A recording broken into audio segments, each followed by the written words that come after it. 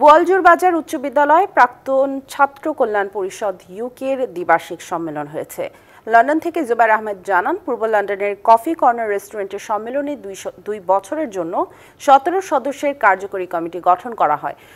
নগদ পেমেন্টে কেনাকাটায় জিতুন আইফোন ফিফটি সাথে ইনস্ট্যান্ট ক্যাশব্যাক মোহাম্মদ লুৎফুর মিয়া সভাপতি এবং বাহরাম খান সাধারণ সম্পাদকের দায়িত্ব পালন করবেন। সাধারণ সভায় মোহাম্মদ আব্দুল রকিবের সভাপতিত্বে ও এনামুল হকের সঞ্চালনায় বক্তব্য রাখেন সংগঠনের সাবেক সভাপতি নেসার মিয়া। শেরুজ্জামান, মুশাহিদ আলী আব্দুল সবুর সহ অন্যরা।